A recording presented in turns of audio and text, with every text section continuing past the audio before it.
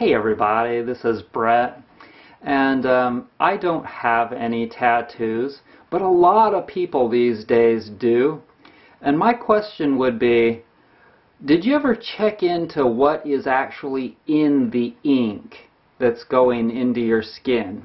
Did you ever wonder about that? Well, tonight I checked it out on the internet and I found some interesting information that I'd like to share with you.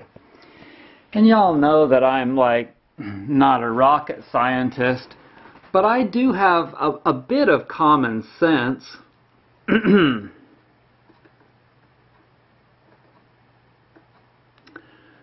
this is on Wikipedia. It only takes maybe one minute to find this. Okay, pigment bases. In the heavy metals used for colors, the first ingredient that can be red is mercury. So if you have a red tattoo, that may have toxic mercury in it. Okay, that's what the that's what I got out of my fillings in my teeth. Lead. That's what used to be in gasoline before it was outlawed and is now outlawed in most products because it's totally cancer causing. Cadmium. I don't know anything about that. Nickel is also in mercury fillings and not a desirable metal to have in your body. Zinc and chromium are, but they're not, those aren't organic zinc and chromiums. Cobalt for blue. Aluminum is said to cause, possibly cause Alzheimer's. Titanium, copper, iron, barium, these are all metals. Ferrocyanide, I doubt that ferrocyanide is very healthy for you. Like I said, I'm no rocket scientist or any kind of a chemist. But I do know how to look things up on Wikipedia. So let's go down now to the health concerns.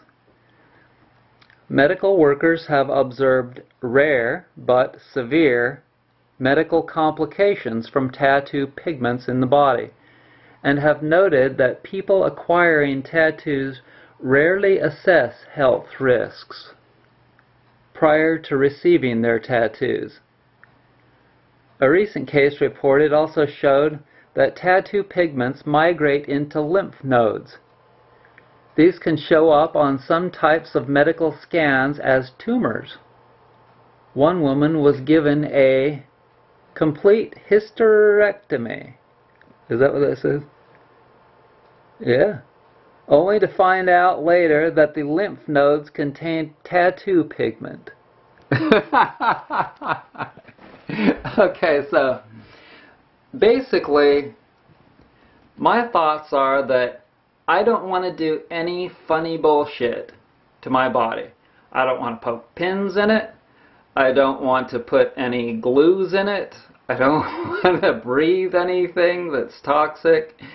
I know when I go to the hardware store, especially if I'm close to the uh, gardening area, I can smell like insecticides.